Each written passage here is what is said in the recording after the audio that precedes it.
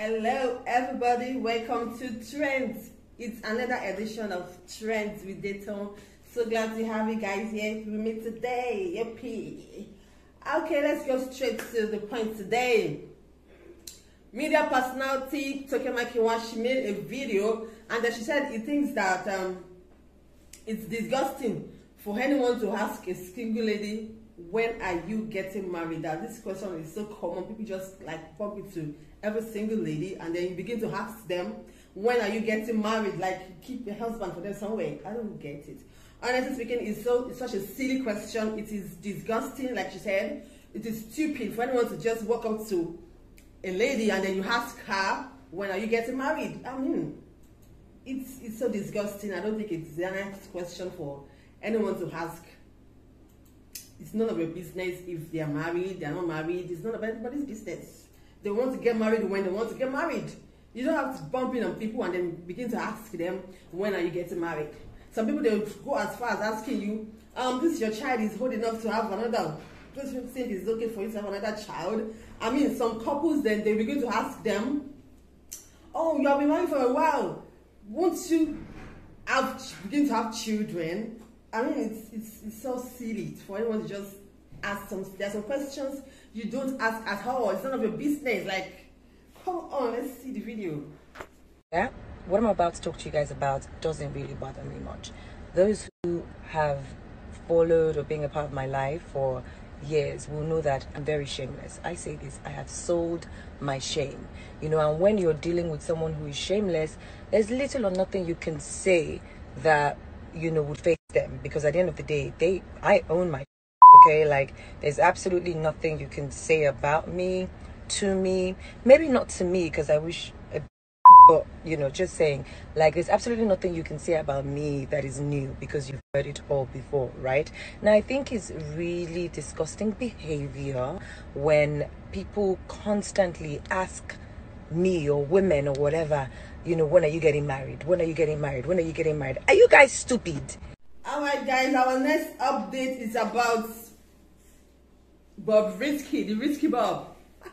Um, over the some weeks, he has been silent. You know, he went for a surgery, and um, he just made a post and he said, I, and I, he said, I let me read this, what he said. He said, I thought I was dying. The pains of the lipo surgery almost took his life. That's what he said. That he said, he, I mean, it was so painful, such a painful experience that anyone could. I don't know why. Did anybody force our brother, Bionku, or auntie rather, to go for the surgery, and then she's now complaining that it's so painful that she almost lost her life, blah blah blah. Our, next update is about Tonto. It has been raining dollars, raining a lot of money, you know. On her birthday, she celebrated her 36th birthday some days back, and then so much celebrations. I mean, what a better way for anyone to celebrate birthday? So much love and um, affection from friends, family. I mean, it's a very good one. Let's see some of the videos of her surprise birthday. A great philanthropist, a great politician, and also the senator representing the Imo West Senatorial District of the 9th Assembly. Ladies and gentlemen, help me once again. Help me welcome this great man, the great achiever of all time. Help me put his floor, distinguished senator, Rochas Okorocha, please put for him. Let me just say a word. Okay, okay, sir. Pass the mic. Please, you can have. No, no, no, no. Thank you very much. I, I am here to to uh, support a daughter, one that has made Nigeria very proud in the industry. Uh, she's been a I've practiced so many and so much of uh, foreign, foreign exchange into this nation. We do not know how our uh, stars are respected until those on South African They are even more appreciated than they appreciate presidents, some countries. So I want to say, I would have been here a lot of my friends, but I forgot completely. And no longer just called me and I should not celebrate your birthday. So I'm here to wish you well and uh, pray God will grant you many more years. And we're just starting. But I can assure you that I see great things to come out to the future. Why we pray for the new Nigeria. We're passing through a very difficult moment. It's not the best time to celebrate, but we have to do that. And thank you for coming to support my daughter in I am working. God. Thank you very much. Thank you so much, sir. Are you? This ain't cash now. Like that, you. Sorry, man.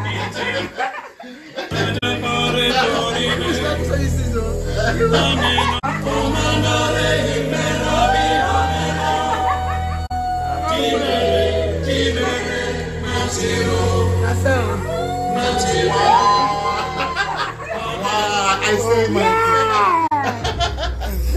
I That's pretty much This next update is a sad one coming from Akure. This Akure-based gospel artist.